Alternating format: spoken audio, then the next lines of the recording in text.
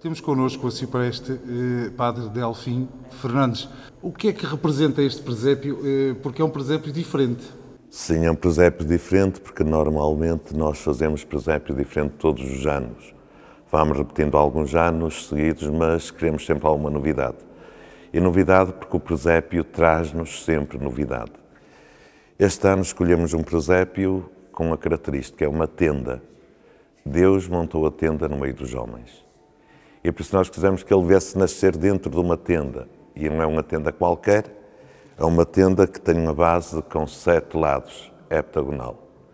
Porque sete é o número da perfeição na Bíblia. É o número também completo, perfeito.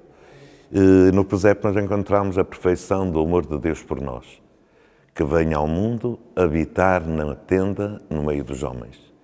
Veio na simplicidade de uma criança e para nos mostrar que também a partir de criança nós estamos a ser salvos por Ele. As figuras principais do presépio são as que estão dentro da tenda: Jesus, Maria e José.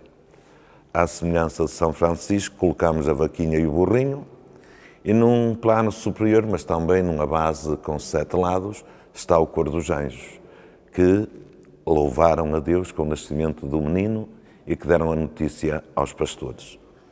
O que é que pretendemos com este presépio? Depois temos os pastores e as ovelhas. O que é que pretendemos? Que as pessoas não olhem tanto para os outros bonecos do presépio, que são importantes. Todos temos um lugar no presépio, como nos diz o Papa na carta sobre o presépio que nos escreveu neste advento.